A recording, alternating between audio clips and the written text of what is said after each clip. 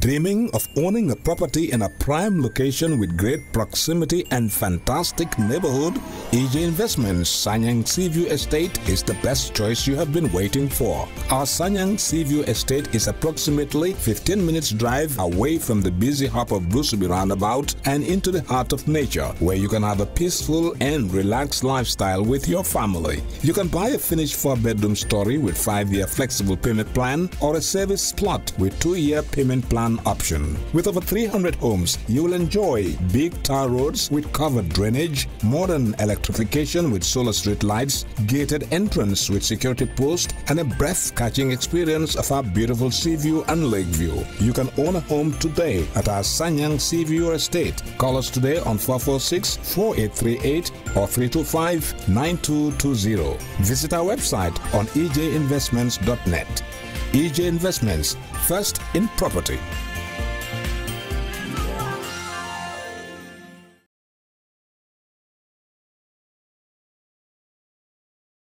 The Gambia Center for Victims of Human Rights Violation held a press conference today, 14 November 2018, at their head office in Senegambia.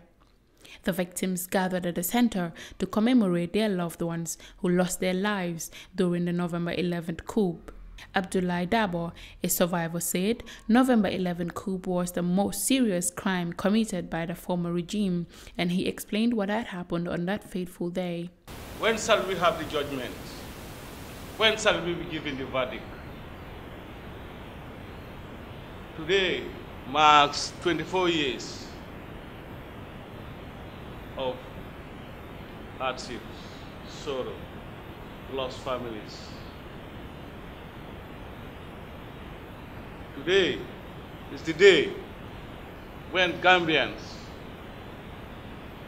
were paraded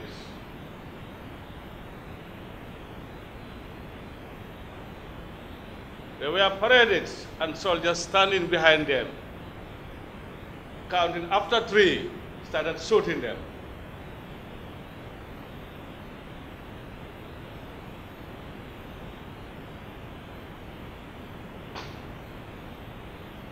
November 11 is the most serious and the most major serious, serious crime committed in Gambia in the history.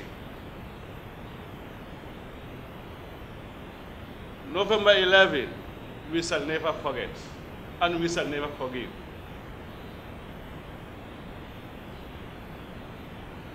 November 11, we were arrested, tortured, killed, detained, sentenced unwrongfully without a proper judicial system.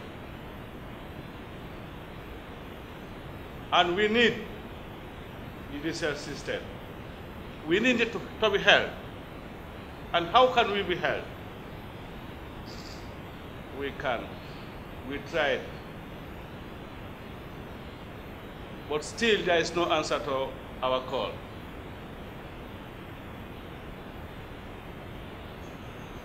November 11 is the day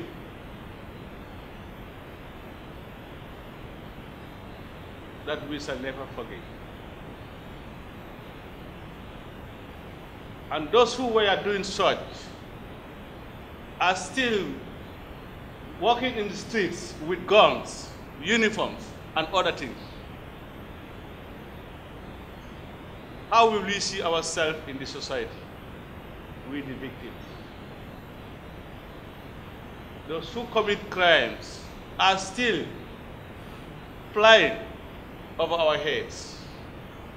We the victims, where can we go? and where to go and how to go.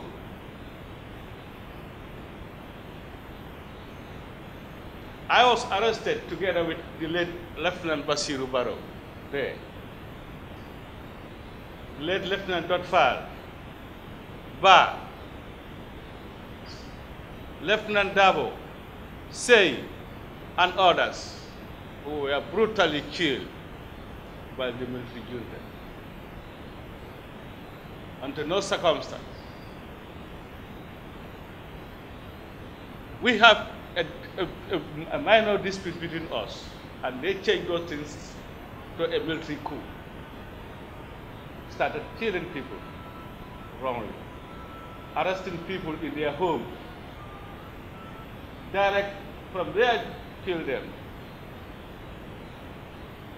Some were innocents and they received serious injuries, torture, some even lost their lives. The day we were arrested, we were taken to mile two, and that very night. After some minutes, we were collected from mile two to Fajara barracks, where we were paraded, started killing us. After the count of three, you just had the weapons all over your body. The South soldiers started dropping down. After 7 o'clock in the morning, when they said now people can see each other. Now we were transported back to Yundum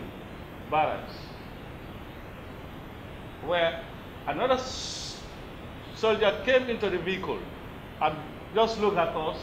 He stepped on my chest like this.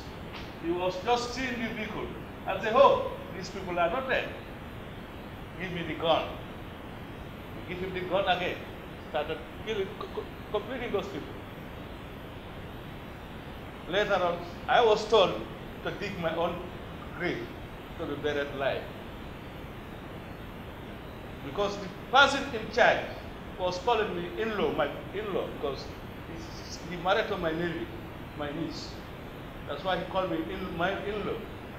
If the gun cannot kill you, I'll bury you alive. Bring out the spade and pickers for me to dig my own graveyard. But I thank Allah who spared me to be a witness today entire Gambians and victims. These people behind me were sentenced for nine years wrongfully without proper check. And we are urging this new government urgently assist us through the help of the Victim Center that we need badly. Needs to be heard.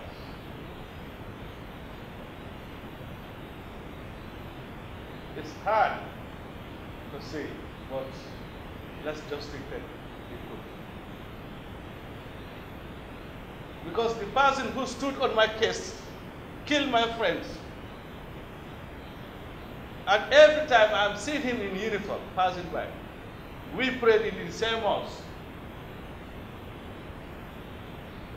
At times, when I see what comes to my mind is, let me die and for all. But I said no. Allah who spared me, one day will judge. Imprisoned for nine years, six months, Kairaba Kamara, a member of the nine victims that were arrested, expressed his frustration to the government for still allowing the Jammeh enablers in the system.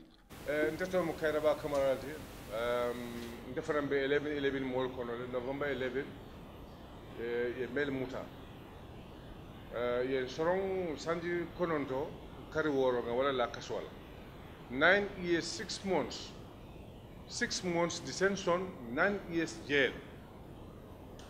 Uh, on, wrongf on wrongfully because normally in Gafa, in the Gambia Gafa, as far as the army Gafa is concerned, hadamadiŋo niŋ ye a muta.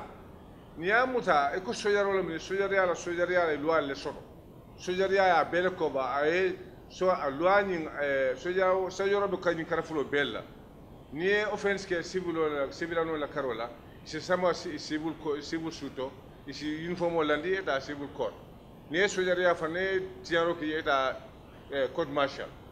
All right alhamdulillah ko ntel nga tiñaro le ke e wala mi lebini lebinti même mu man ta fenkan fo faniya lan na baliya ay man hañin na o dron ye faniya fo ya. Lanna moolu be sojariya la hani bi tilo le mel ya lon ko. Wolu be sojariya kono ye mool faale ye mo ñin banko dinkendol muta ye fa faniya kan a manke toñati fo faniya kan ini alana la kila ya ye wolu fa faniya la kan konnanteya kan ita la selfless interest kan ye fa wala kan nde tom karaba kamarati ntel men yen soron tara fo mo woro wala fo saya ye men soron yen tel men soron tel men kanada fama. Bari nafa na kano fama atala man so don nen kanandi batata kere man bata benje ilafta kam fa bar alaman son yem fa alaman nyodi bulu wala ne man fa no. Bari ilafta nun kam fa ye kato beke bar alaman son ya tin ala demaro kan ala ni na wulula fulol hormoni barko kama imam fa no woto atala man so aba allah subhanahu wa ta'ala ba danila demaro men ken nas kontine ne wala nin jawol sema fa atala man so sin sawolo jawol ma be man sa danila ñin ta ñina no la la fo janni ala ben be kala ñami we can only forgive but we cannot forget. Te ñina la fonda dun janni dunya ben be kala ñami kada mome ye soron sanji kono do kadi woro ila dunya balo kono Eh, e itelo sanji kono kadi woro men ñanta o kele ila dimbali yetu koma mo masore men be makan fo allah subhanahu wa ta'ala don ne balundi koma e woto atala man so men na dimbali balundi koma ntel man fen soron si men ken fo nga atala man so nga tendu nga jay. Si men fo no moliye masa kundaye because as makoro men ken intel la service o ya unlawfully terminated. It was unlawfully terminated ntel la service na jo ye na jo kuntule amman kuntu de la kan ye muta amman kuntu de la kan ye sorom amman ka de la kandi sanji kondo kare woro me kasola man sakunda jubere ken ko mela sira sa mel la mool mel yalan koy banku din kendol muta jang yefa be man sakunda ko ma sala kinde wula do koke mel yalon koye mo walla mo kendol men ye mo walla bankudin kendol mi yemuta yefa ɓe do kola man sakunda kono. Hande sa kala fi ndalta soƴaria keno la kote kadi jamantan wol dol ye bondi dol manque bankudin ti ban i botaɗamin telle yalon let them do their finding. Ye muta ye let them bring them before justice. To e sabate. Simen fono banko mo ala barka November 11th was not a coup attempt. It was a game between the junta and the small soldiers, Abdullah Jallo, a chief medical officer, explained. I was in the Gambia Armed Forces. I was among the victim of 11-11 November. So 11-11 November, it's not a coup attempt. It was just a game within the junta and the small soldiers. There was an agreement before the coup during that time, when these people uh, came, they cannot fulfill their achievement. So, you know, let, let them turn the army another game. So that's what this time they, they start uh, bring this uh, problem. Sana Sabally was one of them, one of them, was Peter, was uh, uh, Edward Singhateh. So when these people came to Fajara barracks, discussed with the soldiers, the dialogues cannot go. So that following night, they start arresting people. I was in Fajar as chief medical officer. I was in charge of that camp. When I had the shot at 3 o'clock at night, I wake up with my uniform, half and half. I went to the clinic. I just past them, they start firing, going to the Amori. I asked them what happened, they said nothing. Early morning, the first victim they brought, I took him to Banjul for the referral. From there, when I came back, I was finding there executing soldiers. Dotfal was there, Mane was there, most of them was there. That was around 7.30. So it was so shocked to me. I don't know what to do. I was standing during that time. Some soldier told me, please run away. I said, I will not run away because I don't do anything. I don't know what is going on. I was there on Friday, Saturday, Sunday, I was arrested, taken to mile two. From there, I was prosecuted. I was locked for nine years with a hard label. I accepted. During in, uh, uh, the problem in mile two, I was another, I have another problem with mile two prisoners, uh, officers, like David Cole. I was sent to uh, Makati for serious punishment. I asked them what's wrong. They said, we are planning another coup against the government. Somebody was locked. You have soldiers are guarding that place. Secondly, he said that man is planning another coup. So it was so rampant to us, and it was so painful. I was transferred to Joshua, later on back to Mali. When I came to mile two, that was this time I start getting these documents. I snap this document from their offices. I snap it. I snap my own warrant with my intelligence. I took it out. So they hold me as a what? Medic. I was in charge of that clinic. When any patient sick, I'm the one who referred that patient. Because there was no doctor in that mile two. I was the one in charge of mile two during that time. So that's what the time I snap all my documents from them. So when this center came, some of our some of my uh, comrades went to, to, to two to find their document, but they cannot see it. So that's what the time I saw them. You people, you are not, a, uh, you think you people are smart, but you people are not smart. So I was so intelligent more than them. Anything they told me to do, I do it. I was free like any other prisoners, but I was free like any other officers. I was acting like, like an officer. So that's what the time I got all these documents from them. Center. This is 11 11 how 11 11 came. 11 11 came with a serious disaster. Some of them are putting uniforms. They are still working in the army. Some are carrying serious heavy ranks. They are still, they are murderers. Some of them, they commit a serious crime. But why those people, they don't took them to the, to the justice side? And still now they are, left, they are leaving those people in the army. You see them in the street. Some of them, if you, if you talk to them, they, they start talk. It is past. It's past. I can give them, but I cannot forget what, what they have did to me. Because I cannot talk because my heart, my temper is so fast. It's so fast. Definitely. Thank you very much. Abdul Aziz Barrow, son to late Lieutenant Basiru Barrow, emotionally explains how he felt growing up without a dad. Basiru Barrow is my dad, and every year, November 11 is always a gloomy day for me and my family, and for the rest of the victims here. For we have taken our fair share of it this past decade, and we have suffered painful losses. Sometimes it feels like more than we can bear. Yet here we gather, united, not as victims, but as survivors, but as survivors of a brutal regime. Every time we are called, we answer, here I am.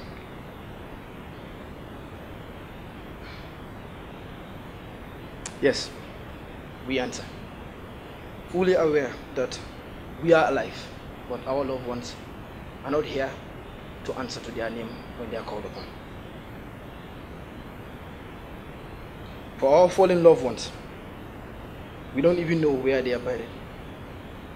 I'm not going to put a silver line on our pain because today we grieve and we remember our fallen and we thank them for their service to us and to the entire nation. Yes, today we grieve. I was one year, four months old when my dad was killed. I grew up without, without one.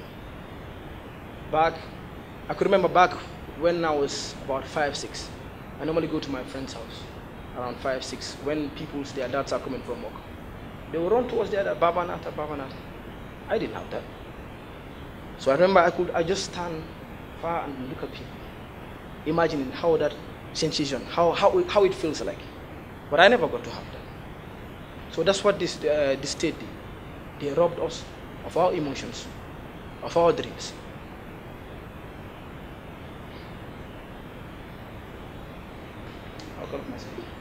Abdul Aziz further said they felt used and neglected by the government. The journey has been long, and we, the victims, feel as if the government doesn't recognize our pain. Moreover, they ridicule our dilemma by using our name to secure funds. Funds that we, the victims, are yet to see. The Gambia Center for Victims of Human Rights Violation is here as an entity representing victims throughout the nation. The center themselves haven't received any fund from the government to help them in achieving their goals. The Victim Center It's an entity that has been doing so much work for us, the victims. And they have done more for us than our own government that we ushered into power. We have taken large amounts, the victim center has taken large amounts of victims for treatment to Senegal, Nyogonjai and others. And we have given microloans and paid for tuitions for children of victims across the nation without the help of our own government.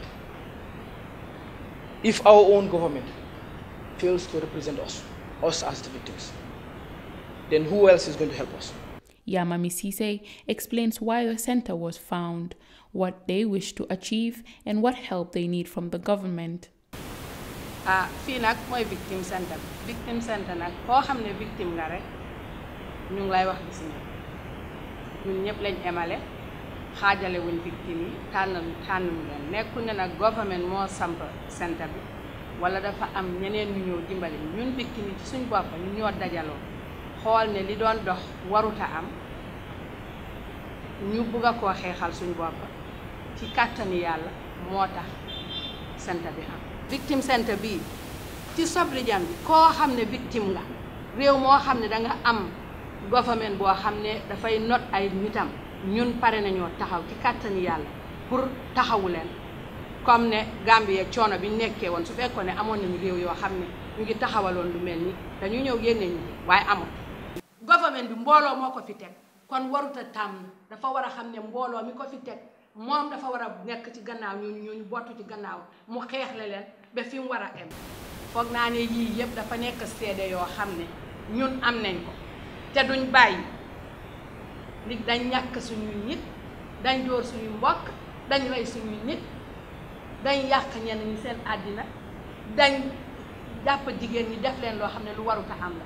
Te foog naa ni nit nit nga rek. Su fekkee ne lu métti dafa dal sa mbokk te defe naa mbokk raw loolu. Government bi nga xam ne moo fi utu government bu bon bi fi nekkoon foog naa moom bu ñëwee dafa war a sol dàllam yu mu sëkk taxaw ci gannaaw victime te dafa am leen lu bari lu ñuy wax man loolu nanguwuma. Mooy ne benn parti wala yenn groupe yi ñoo fi génnee Yaya Jammeh déedéet. Lii xeex boo xam ne la ñépp a ko xeex. Gis nga su coalition amul wax nit ñi duñ mën a sànni coalition bi kan su coalition amoon te doomi Gambie yi nekk ci biti dajale wuñ xaalis dimbale coalition bi ñun ñëpp xamoon nañ fii naka la mel.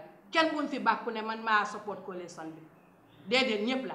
Su fekkoon ne xaalis am na ah coalition am na waaye doomi Gambie yi nekk Gambie takkuñ seen diggay dem sànni ji carte dara du xew kon dama ne ñun ñëpp nañ wax ne lii mbooloo la lii laa wax Okay, thank you. Baba Haidara, son of late Data Haidara, said they are watching the TRRC closely and the work they are doing regarding the victim center. If the TRRC doesn't answer to them, we, the Victim Center, as an institution, we need to look after our own. And our own are these victims. So we will need to do our own thing. And that the only thing we can do is to use the judiciary system. Because we can still take um, whoever was a perpetrator to a victim, the victim is still uh, free to use the judiciary system that we still have. And um, since um, um, before the TRRC, that was the big um, sort of confusion because for the government, they own, um, they designed this TRRC for their own. And that is to have a big commission that the whole world will, you know, be watching and all to see that, yeah, um, we are going through this transitional justice.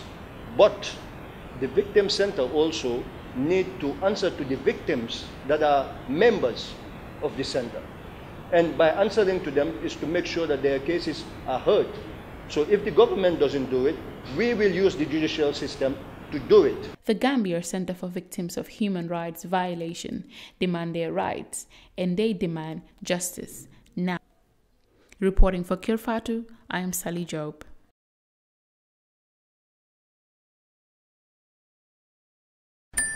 Dreaming of owning a property in a prime location with great proximity and fantastic neighborhood?